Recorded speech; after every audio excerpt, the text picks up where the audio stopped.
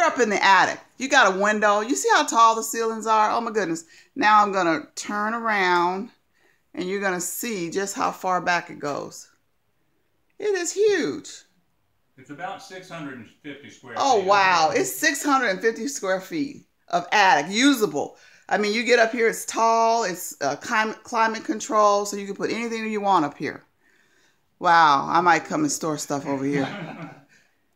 Okay, there you go. When we were uh, when we were in Washington, uh, she was a licensed agent as well. Okay. So we both are in the industry. She was, Okay. So she, she actually began as a mortgage broker. okay. She, she knows both ends of it. Okay. Yeah, before the So where in. Washington did you live?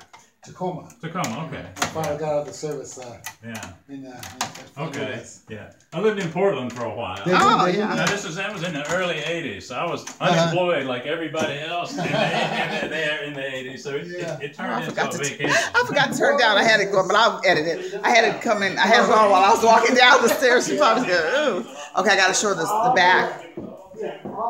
the light fixtures come in. Okay. Oh, okay. Um, I'm so excited for her. I can't wait to come visit her over here. I love this house. nice. I like I love it. I can't wait. Well, I'm so great tickled. For like just two people. Oh yeah, yeah, yeah. I mean, for her, it's, like I said, what I love about it, she can retire here. Yeah.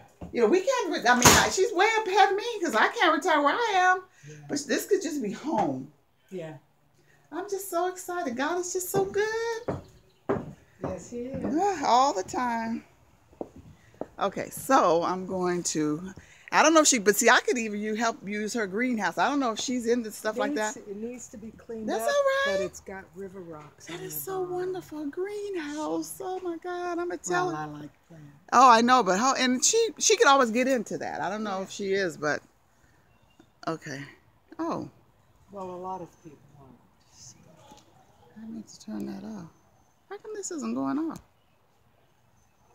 Red lights go. I know it's it's like it never turned off. Hit the pause button and see if that. No. Maybe it's still taking. See, I'm used to my phone. I'm not even used to doing video with this. Hmm.